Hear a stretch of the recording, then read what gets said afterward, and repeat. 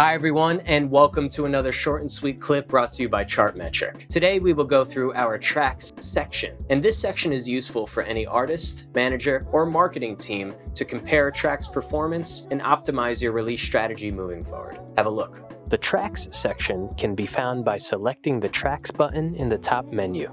There, you will find a table containing popular tracks, which can be sorted by artist, track score, and many streaming and social media engagement performance filters. Towards the top of your screen, you will notice drop-down menus that allow you to further customize the tracks table. Options include turning on and off relevant streaming data by platform, filtering particular metrics and change percentages by platform, release date, and filtering by genre. This comes in handy when trying to figure out which tracks are performing best within specific criteria that is relevant to you. For example, you may be managing a mid-level artist who is looking to release a series of drum and bass tracks with the goal of continuing to grow their presence on Spotify. You can use the Tracks section to view which drum and bass releases are performing well for artists of the same stature by selecting the Rising Spotify Tracks filter preset.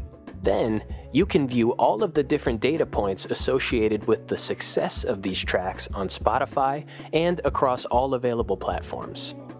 In order to dial in your search further, you may want to toggle between the other suggested presets, such as highly playlisted by users. This will give you insight as to which songs are being saved and playlisted by fans. Toggling between filter presets will show you similarities and differences between tracks within your criteria that have proven successful on Spotify.